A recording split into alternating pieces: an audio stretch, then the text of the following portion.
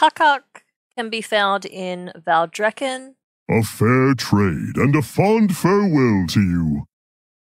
which is right here on the map. When you talk to him, he has one pet to buy. For this one, you will need some cooking skill or just buy them off the auction house. If you're after goods, I have plenty.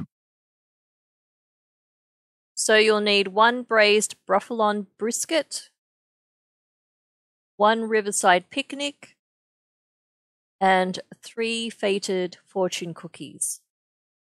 I look forward to trading again. The cooking trainer is actually up by the inn, actually inside the inn. So just follow this path upstairs, which is right here on the map in Valdrakken.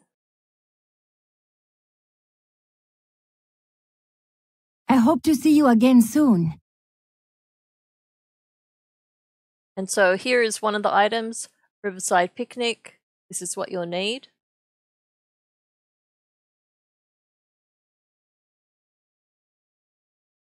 Braised brisket.